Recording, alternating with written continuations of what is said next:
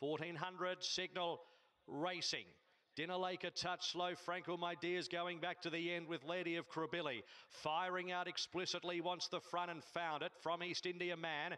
And they were followed by up to third, the outside Almighty Gold from Jamison. Aesthetic is next in fifth. A length and a half to Raw, Dinner Lake, and then Equilibrium. Second last, Frankel, oh, my dear, and Lady of Krabilly is at the end, heading towards the first corner. A thousand metres to go, and it's explicitly in front at a pretty good clip here by a length and a half. East Indiaman, two lengths, Almighty Gold, and fourth, the inside, just losing a little bit of ground, Jamison, followed by Aesthetic. And further back is Raw, the outside of Dinner Lake, two lengths away, Equilibrium. Further back on the inside, Frankel, my dear, and Lady of Krabilly is last. So they approach the home corner at the 600 metres. It's explicitly by a length, East Indiaman. A couple of lengths, Almighty Gold, third, followed by Aesthetic, improving to fourth from Jamison, then Raw, Dinner Lake, eight off the leader.